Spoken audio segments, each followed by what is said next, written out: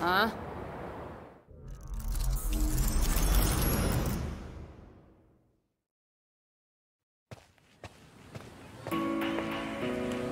こだな。陸上部の部室は奥か。あ。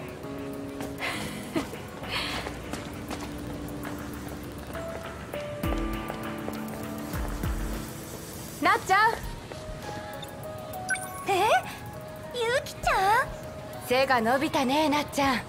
ゆきちゃん髪伸びてて分かんなかったよ。ほらなっちゃんが伸ばした方がいいって言ってたから。そっか。文通の返事が返ってこなくなって心配してたんだよ。ごめん。引っ越してから色々あってさ。でも今日からここに転校なんだ。本当に？なっちゃんがここだって知ってたし顔見たいと思って探してたんだ。でも陸上部は意外。へ へたくさん話したいことあったんだから。まだ部活中だろ？私もこの後行くとこあるんだ。慌てなくてもいつでも会えるよ。そうだね。部活頑張れ。なっちゃん。うん。またね。明日ね。ゆきちゃん。ゆきちゃん転校してきたんだね。幼なじみのなっちゃん。中学で離れ離れになっても文通だけはずっと続けてた。たった一人の大事な親友だ。その呼び方やめろ。名前で呼ばれんの好きじゃねえんだ。だって今。うるせえ。あの子はいいんだよ。俺のこと覚えてるよね？さあどうだっけな？運命の出会いなんだけどな。商店街で一度会っただけだろう。懐くな。ひどいなゆきちゃん。それやめろ。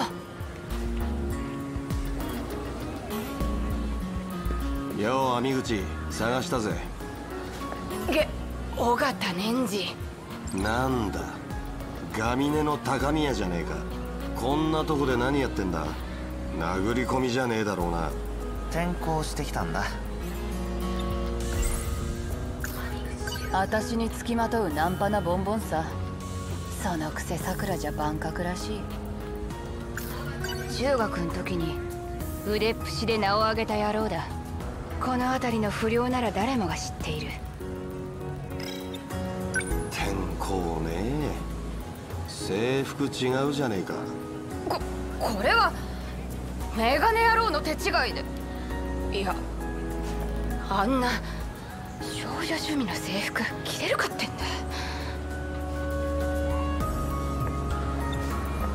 だ。だけどこんな時期に転校すんのおかしくねえか。人にはそれぞれ事情があるだろ。何か企んでるかもしれねえぜ。因縁つけるのも大概にしろよ。じゃあなんでこの学校に来たんだ？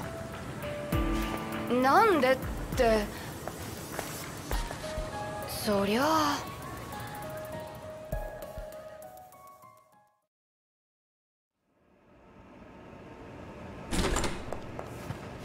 連れてきました。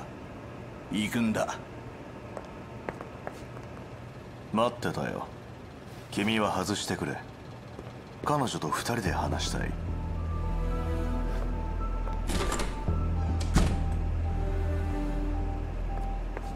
高宮由紀16歳。鈴ヶ峰女子高等学校1年。男子校に乗り込んで不良生徒数十名と乱闘。12人を病院送りなかなかの難物だ。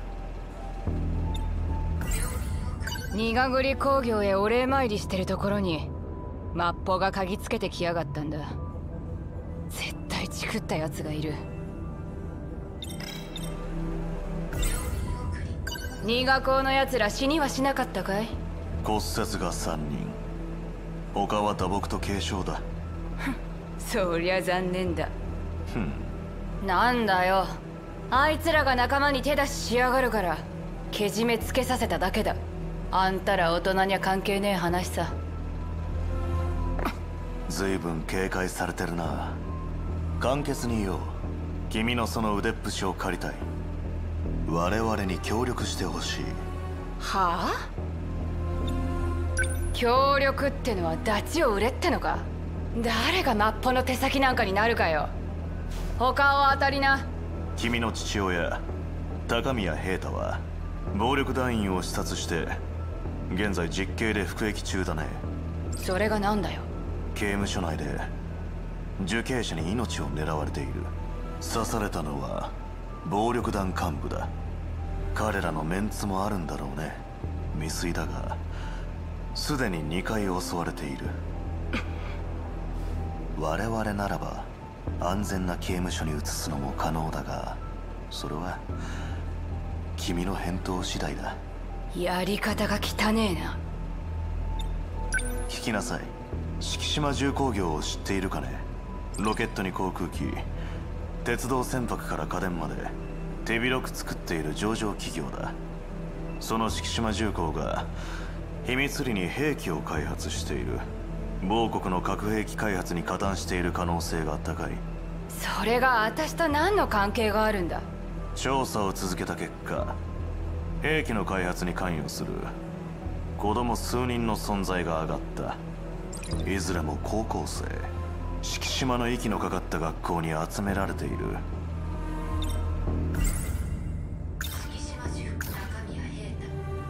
ヤクザを刺して無所に入ったチンピラさん。そんなやつでも私にとっちゃただ一人の肉親だ。子供に核爆弾でも作らせてるってのかバカバカしい。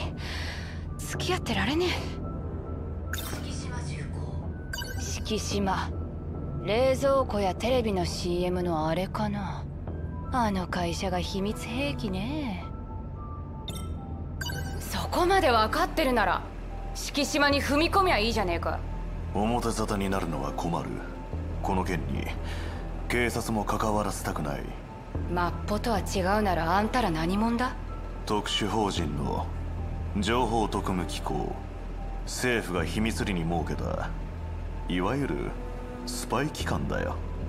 私は特機の理事長で君のボスになる。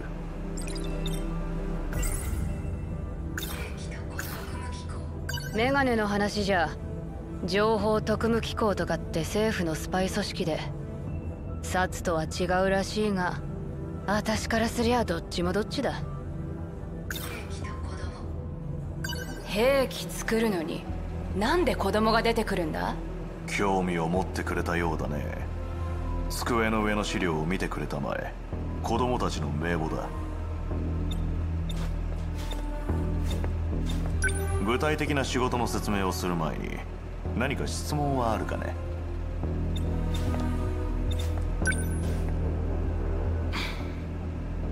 ？1年 B 組冬坂伊織2年 A 組ゴート蓮也。1年如月倉部あ1年 C 組南夏の。その子供たちを調査するのが君の仕事だ。高宮由紀。なんでなっちゃんが。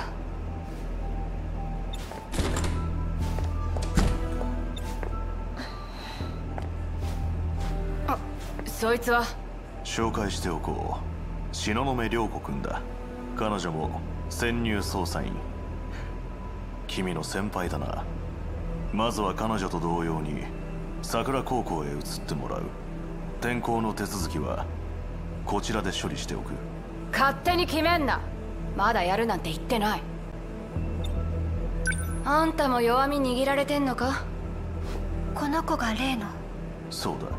おい無視するなこの様子じゃ何も知らないのね。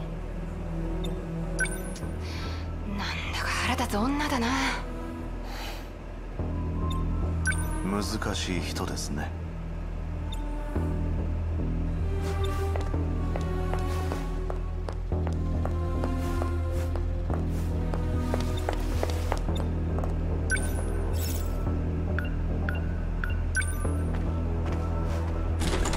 どこへ行く気だ？やってくれるね？私の知ったことか。彼彼女協力させるのは無理じゃないですか？そうでもない。彼女は協力するよ。そういう運命だ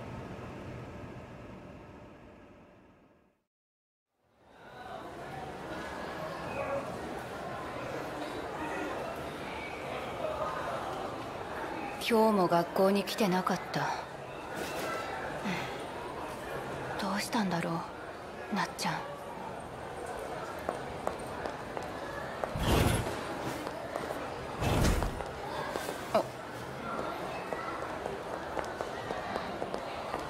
十郎おい。ちょっといいか、うん。お前確か1年 C 組だろ。そうだけど何かよその同じクラスに南夏乃がいるだろ？もう3日休んでるわね。なんか聞いてねえか？先生は体調不良だと言っていたけど。本人から連絡があったのか？さあ。呼び止めてすまなかったな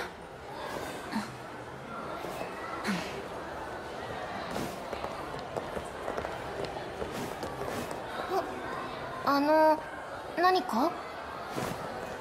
いや別に。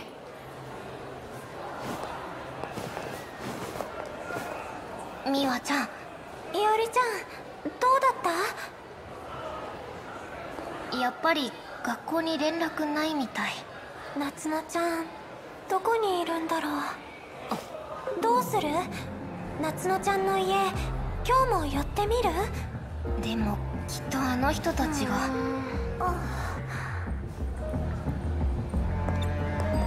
おい。ちょっといいか？南夏乃のことを話してたんだろ？あなたは？高宮だ。それより知っているなら教えてくれ。なんで夏乃は休んでるんだ？家に帰ってないみたいなの。昨日なっちゃんの家に行ったけどインターホン越しにお母さんが謝るだけで。警察の人来てたよね。あの人たち警察かな。いいや心配だな。教えてくれてありがとう。うさみちゃん。ごめん待った？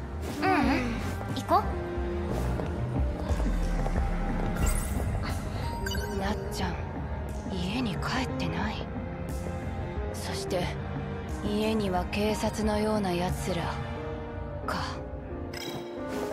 何をやっているの？さっき聞いた警察ってのは？特務機構のエージェントよ。南夏乃の事件は私が担当の調査に関与してるの。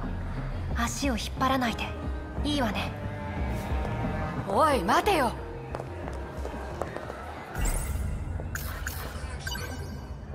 なっちゃんに何があったんだ？メガネの野郎。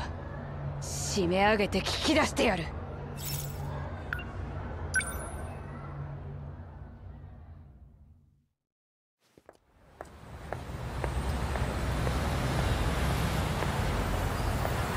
困るな。接触を避けるよう言ったはずだが。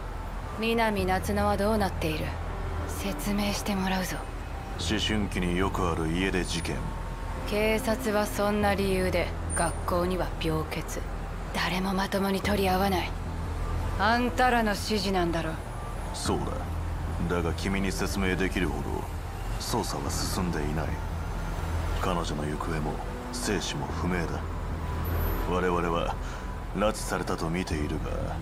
誰が一体そんなことを。敷島か彼らがその気になれば穏便に確保できる。事件になるような手法を取る必要はない。別の勢力だ。東雲が追ってるってやつか。おそらく失踪を手引きした者がまだ学校の周辺にいる。危険だ。君はこの件に手出しをするな。